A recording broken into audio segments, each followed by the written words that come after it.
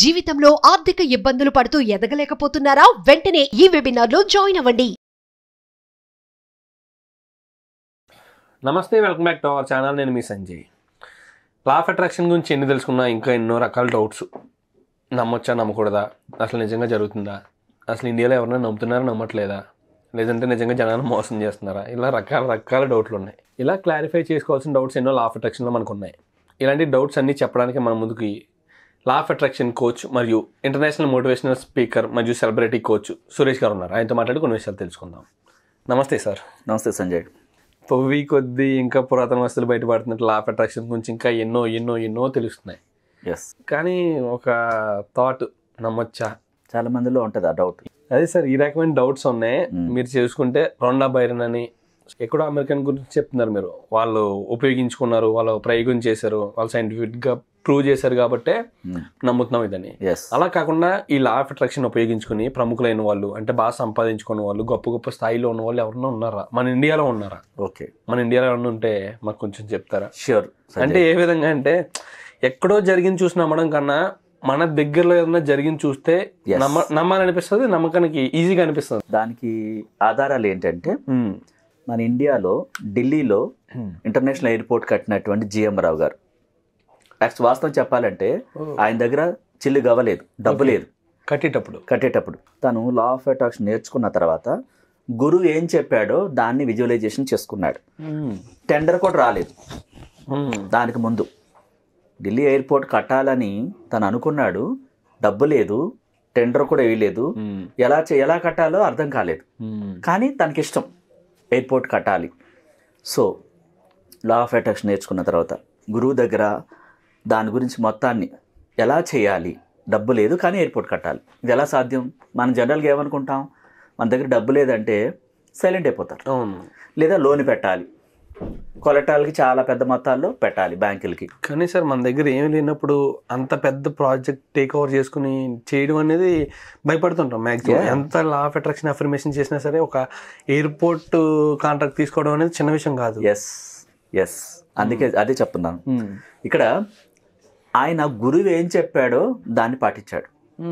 డబ్బు లేదు మన ఇక్కడ ఏంటాం మనం ఏదైనా కొనాలంటే ముందు డబ్బు చూస్తాం. ఓకే. లేకపోతే ఎలా కొంటాం? కుదరదు కదా. సో ఆ ప్రాజెక్ట్ కట్టడానికి లా ఆఫ్ అట్రాక్షన్ గురువు ఏం చెప్పారు ఆయనకి?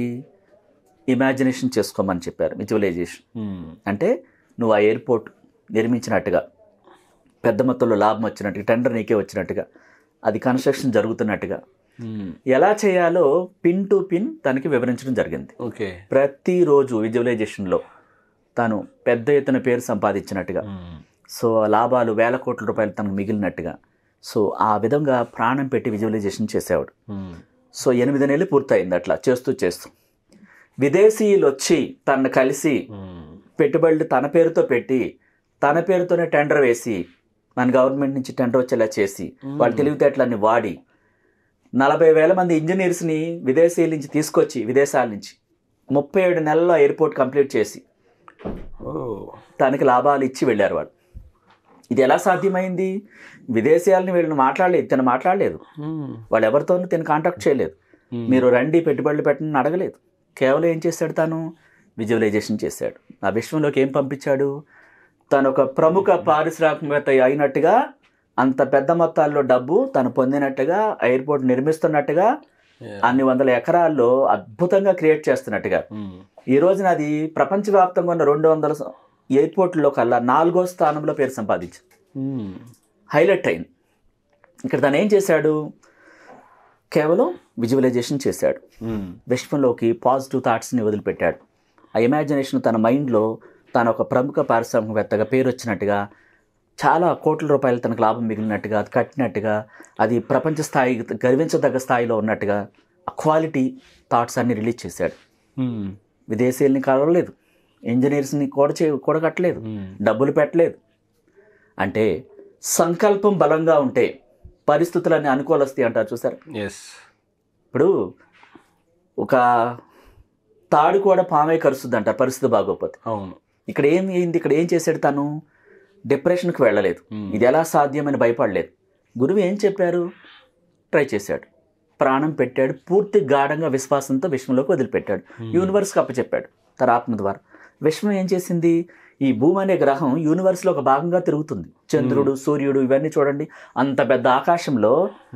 చిన్న చిన్న బాల్స్ కింద తిరుగుతున్నాయి. ఇంకా యూనివర్స్ చాలా పెద్దది. అనంతం. అవును. ఎండింగ్ అంటూ లేదు. నికోలస్ టెస్లా ఐన్స్టీన్ ఆ తర్వాత మన ఈ సైంటిస్టులు అందరూ కూడా రాకెట్ ద్వారా చివరి భాగం ఎక్కడుందో కనుక్కోవడానికి ట్రై చేశారు. కానీ ఎప్పటికీ రావట్లేదు. మ్మ్. అంటే స్ప్రెడ్ అవుతూనే ఉంది ఎండింగే లేదు. అంత పెద్ద యూనివర్స్తో మన ఆలోచనలు థాట్స్ అన్ని పాజిటివ్గా పంపించినప్పుడు ఈ ప్రపంచంలోకి తిరిగి వచ్చి ప్రతి ఒక్కరిని చైతన్యపరిచి ఆ ప్రాజెక్ట్ పూర్తయ్యేలాగా యూనివర్స్ బ్లెస్సింగ్స్ ఓకే. సేమ్ అదే థాట్స్ని మన ఇంటర్నేషనల్ ఎయిర్పోర్ట్ శంషాబాద్ హైదరాబాద్లో. అది కూడా ఆయనే కట్టారు. సో తను కొన్ని పుస్తకాల్లో కూడా రాయటం జరిగింది. తన యొక్క జీవిత చరిత్ర. ఎట్లా కట్టాను? ఏం జరిగింది అనేది మ్మ్. అలాగే మన ఇండియాలో మీరు అడిగారు. ఇండియాలో ఈయన ఒక ప్రూఫ్. ఆ తర్వాత సచిన్ టెండూల్కర్ గారు. Sachin Tendulkar as cricketer. ఆయన లా ఆఫ్ అట్రాక్షన్ ఉపయోగించుకునే ఆ విధంగా పేరు సంపాదించారు. ఆయన ప్రతి మ్యాచ్ మొదలయ్యే ముందు పది రోజుల ముందు నుంచే విజువలైజేషన్ చేసుకునేవాడు సిక్స్ కొట్టినట్టుగా ఫోర్ కొట్టినట్టుగా. ప్రపంచంలో తనకి పేరు వచ్చినట్టుగా. మీరు రీసెంట్గా రామ్ చరణ్ కూడా ఒక స్టేజ్ మీద చెప్పారు లా ఆఫ్ అట్రాక్షన్ పనిచేస్తుంది. ఏమిస్తే అది వస్తుంది అద్భుతంగా పనిచేస్తుంది అని ప్రూవ్ చేసి తను స్టేజ్ మీద చెప్పారు తనకు పనిచేస్తుంది ఇట్లా చాలా ఆధారాలు ఉన్నాయి సెలబ్రిటీస్ ఉన్నారు. క్రికెటర్స్ ఉన్నారు విరాట్ కోహ్లీ కూడా అంతే ఇలా చాలా ఉన్నాయి వాళ్ళు మీరు చెప్పిన వీడియోస్ చూడండి ఆ స్టేజ్ మీద చెప్పిన పనిచేస్తున్నది మీకు చాలా ఎనర్జీ వస్తుంది. ఇది పనిచేస్తుంది అనమాట. మన ఇండియా వాళ్ళు వీళ్ళందరూ. మీరు అడిగిన క్వశ్చన్ అబ్సల్యూట్లీ మీరు చెప్తుంటే అనిపిస్తుంది. ఏ విధంగా అంటే ఇంత పెద్ద ప్రముఖులు నమ్ముతున్నారంటే నిజమేమో అనిపిస్తుంది. నమ్మటం కాదు ప్రూవ్ అయింది వారి జీవితంలో. ప్రూవ్ అయిన తర్వాతే చెప్పారు వాళ్ళు. Thank you sir thank you very much yeah most welcome